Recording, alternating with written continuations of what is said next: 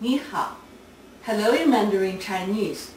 Welcome to Chinese Home Cooking Weeknight Show. Our demonstration today is bacon with green beans.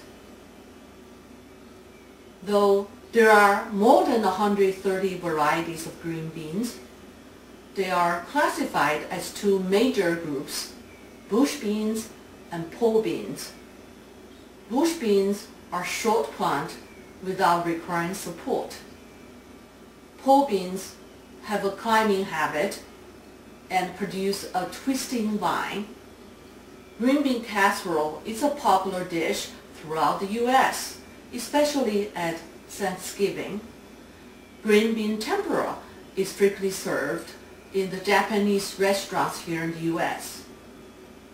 Now, before we start, let's take a look at what we need for the dish. Here is the list of ingredients.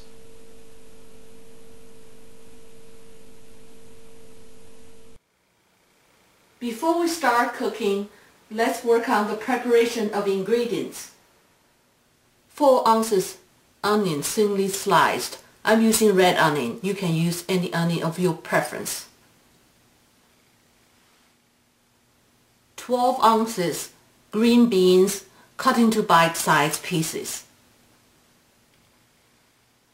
4 ounces bacon cut into small pieces. I'm using pork bacon. You can use any kinds of bacon as long as there's some fat in it because we're going to use the fat instead of cooking oil to cook the dish. We finished the preparation and now we are ready to cook.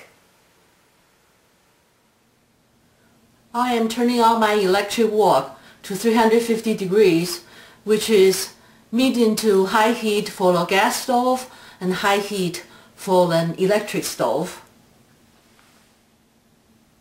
We are going to cook the bacon first for about 4 minutes until the bacon is browned and the fat comes out.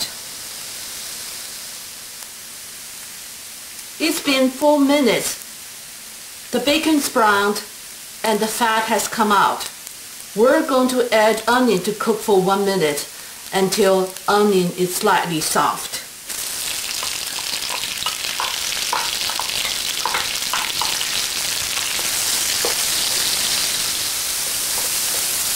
It's been about a minute. The onion is slightly soft. We are adding green beans to cook for one minute.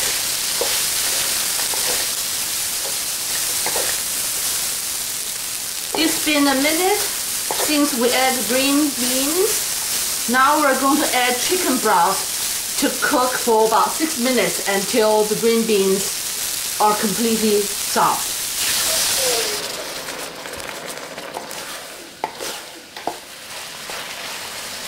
It's been 6 minutes since we add green beans. The green beans are very soft now. It is done.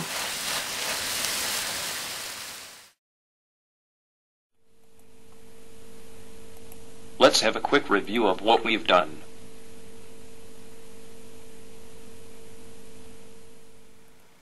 I hope you will enjoy this dish, which is fast, affordable, and tasty. Happy home cooking! I look forward to seeing you again very soon.